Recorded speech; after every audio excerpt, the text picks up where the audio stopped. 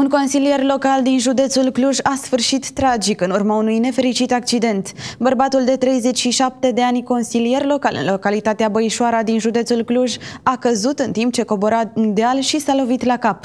Bărbatul și-a pierdut cunoștința și s-a anecat în apa care curgea de pe versant.